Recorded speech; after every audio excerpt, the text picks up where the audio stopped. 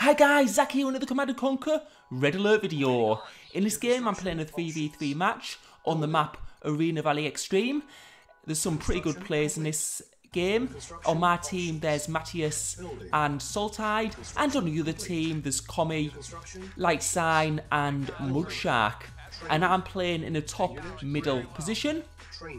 So what I'm doing first of all is just build some infantry and the aim at the start really is to get as much scouting done as you possible, if possible get into enemy's base, and it's also to defend your territory and stop the other player getting into your base. And you have to be quite careful in this middle position on Arena Valley Extreme because sometimes you can like get light tanks coming from behind and attacking your construction yard. Um, so you can see I'm getting um, my ore refinery out straight away. I should have probably built that ore silo just one space to the right. I don't really want it right next to my ore refinery because it can sometimes cause a little bit of trouble with the tracking when it comes to ore trucks. And you can see um, the enemy scout there, I've just missed him, but I'm going to get him with my scouts that I've just held back a little bit. So yeah, it's important to really just get that visibility early on so I can see if there's any enemy scouts coming and then I can deal with them if they do get past the scouts I have at the front. And you can see I'm building um, my war factory there and I'm going to build an ore truck and then I'm going to start building tanks. It's quite important um, sometimes when in these matches where you, the teams are a bit close together to get some tanks out a bit earlier.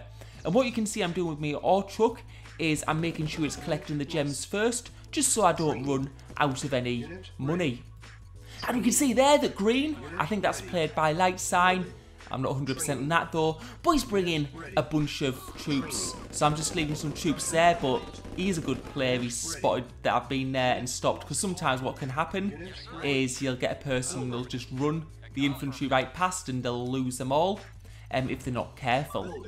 And now I've got my second ore thing out and I'm just going to use that tank to try and squash them and yeah we've been able to get rid of them and now I'm going to start expanding down to the south. It's sometimes quite hard to expand from the position I'm in uh, because you can see it's only very narrow. But it's really important I do get to that next ore patch. Otherwise I will run out of ore quite early on. And you can see to the right there, Commie going for an attack on my ally, Saltide. So what I'm going to do is I'm going to bring my tanks down uh, near Commie's base because players are quite vulnerable when they are outside their base, of course. And when they're attacking, they're focused on attacking their opponent's base and not defending their own. And that's always a danger if you go and attack an opponent early on in team games. And you can see Saltide is uh, defending okay and he's pushing Commie back. He might have lost a building or two there though.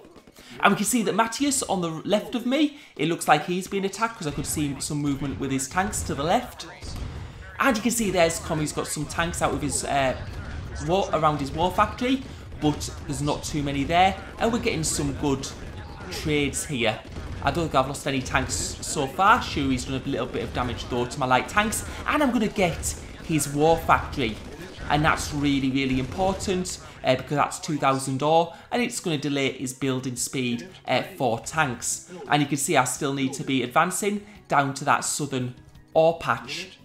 In the position we are in now though, we're going to have to be really careful because light sign is in the middle. So I'm just going to try and get a bit of visibility here to see what condition he's in. And as we can see, he's got quite a few tanks there. And he's built a Tesla coil, so I'm going to pull my tanks back because if there's one thing that tanks don't like, it's Tesla coils, especially when it's got tanks in front defending.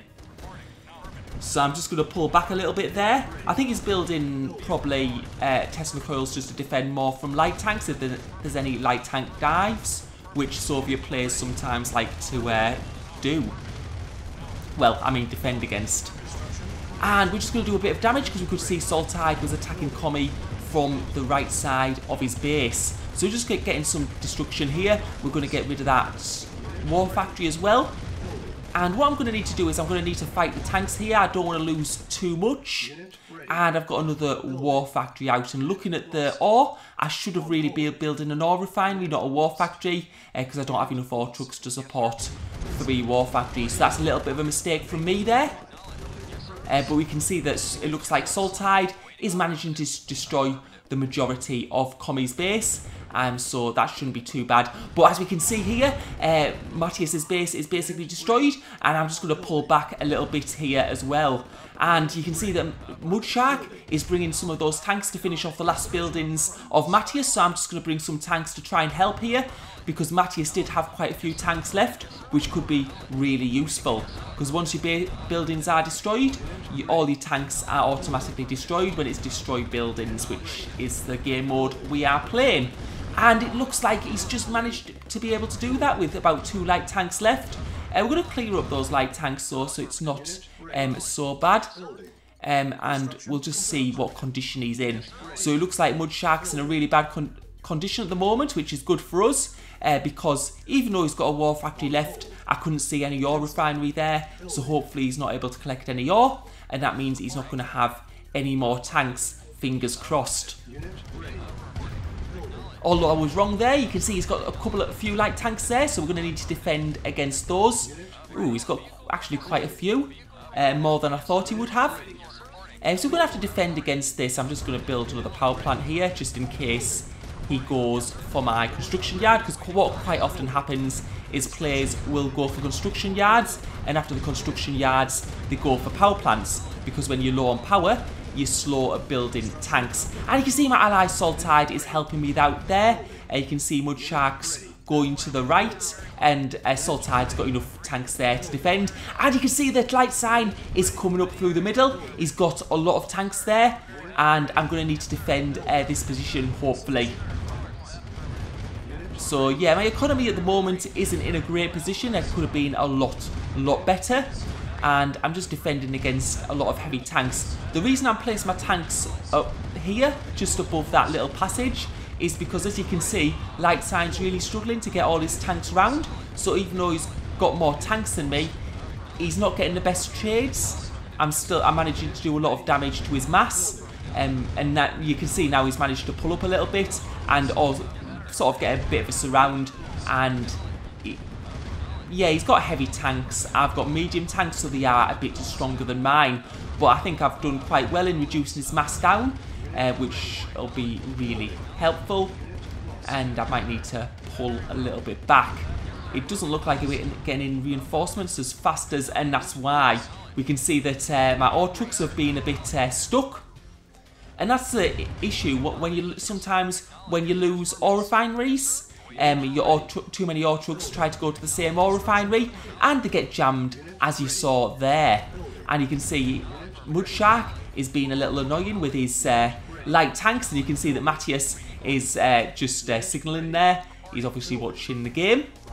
And I've got now got another oil refinery. And I think that Saltide might be attacking Light Sign's base because as we can see that Light Sign, his tanks are gone. And it looks like that's exactly what's happening. So we were able to do, so it looks like it's probably going to be good game. Right, thank you for watching. Hope you enjoyed the video.